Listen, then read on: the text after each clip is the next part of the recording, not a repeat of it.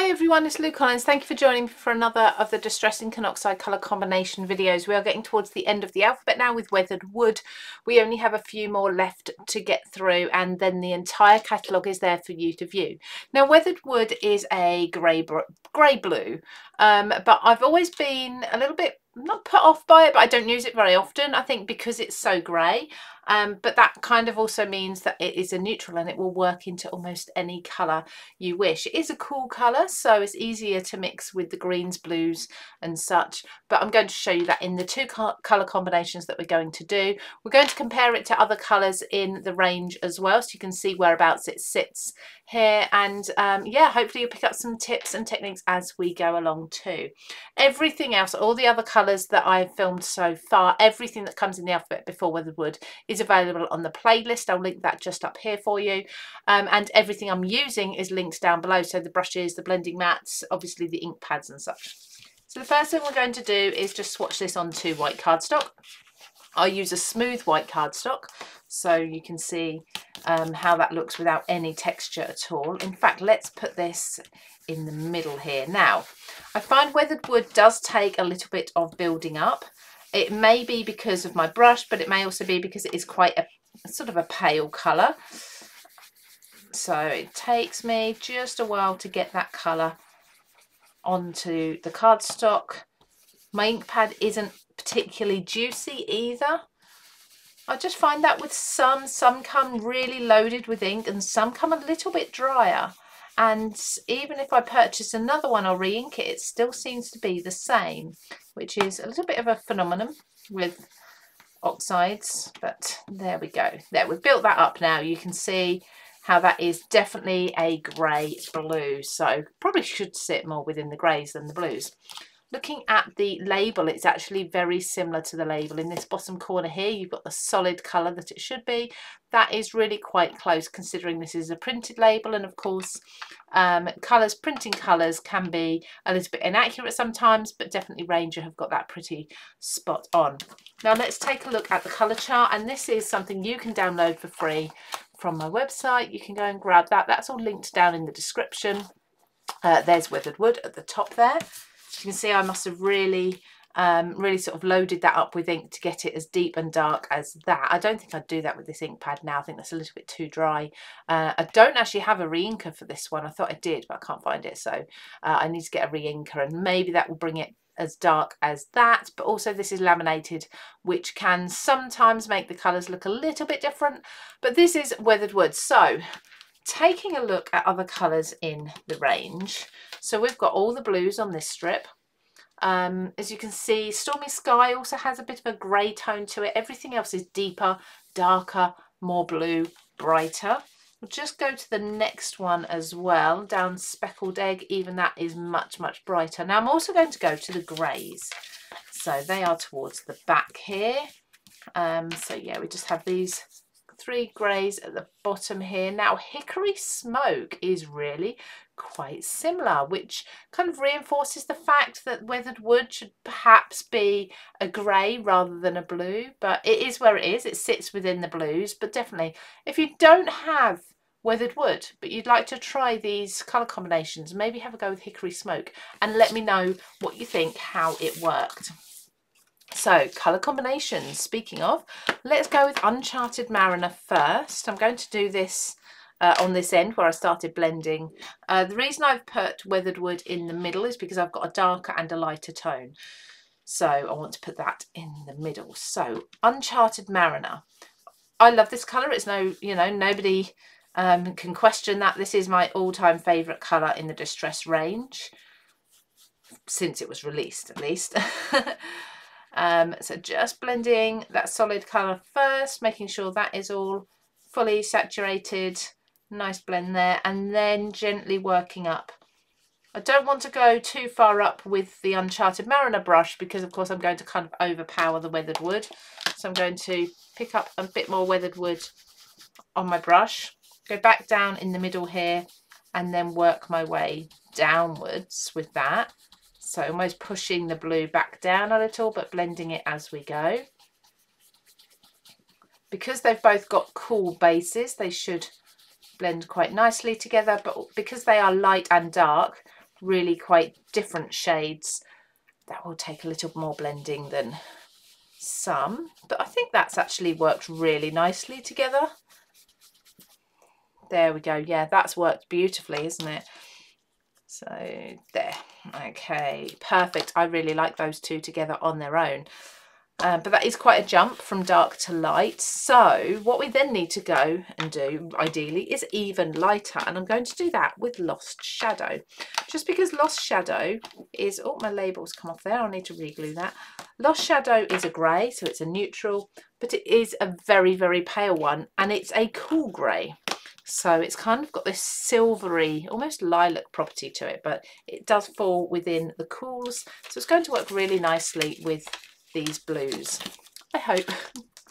As I've said before, I don't actually test these out, so uh, I, I do them with you, so you sort of see what I think will work, and then we try them out together.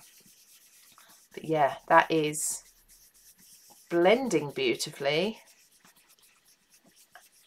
Perfect. Really like that, actually, how they those two have worked together. I've got a little bit of a mark there and I'm not sure. I think that's something on the paper where the paper's picked up the colour a little differently to the rest of the paper.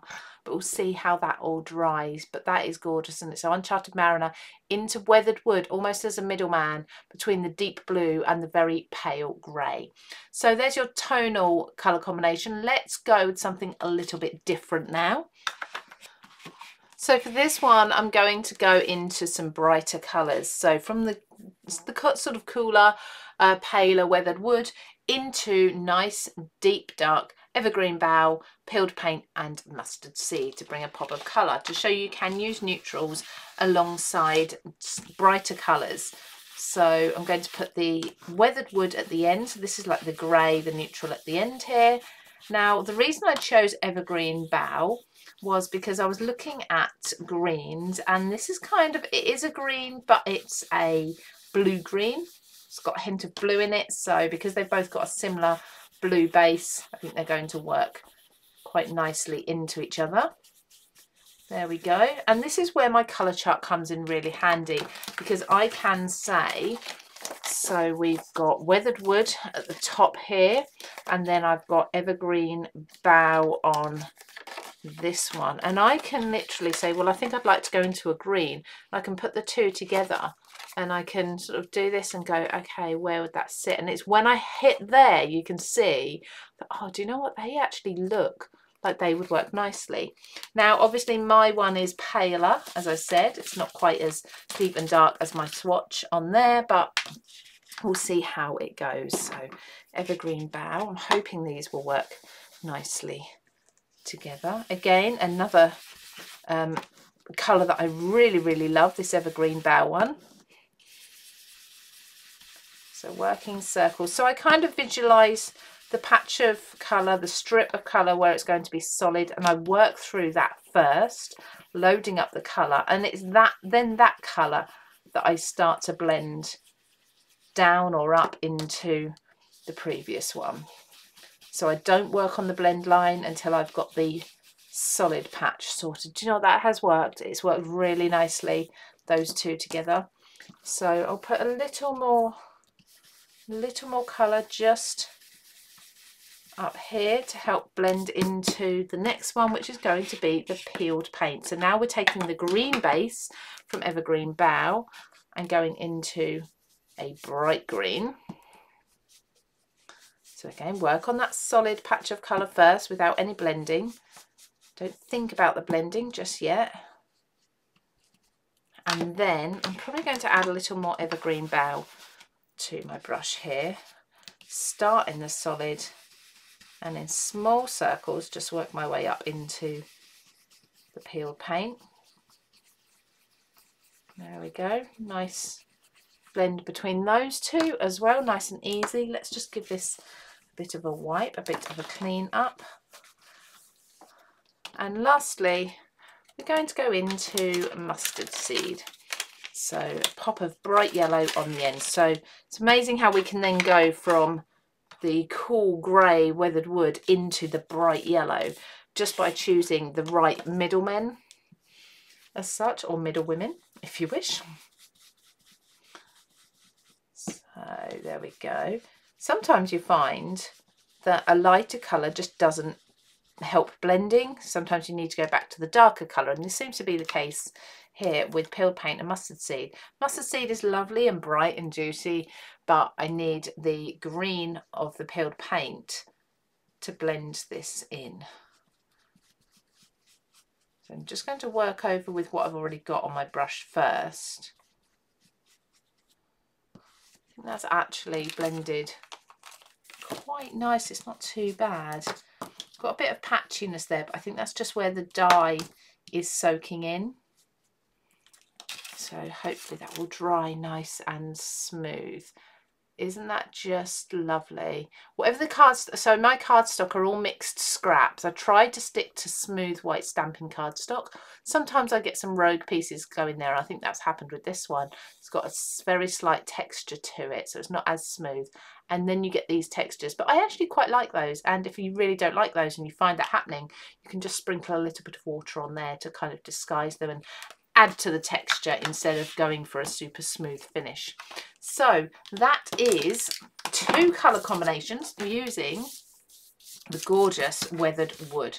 So I've got weathered wood in the middle here and I've got it on the end here. What a beautiful colour. Definitely one that I will be using more often, mixing into others. I'd love to see this going into some purples and some pinks, trying all those out.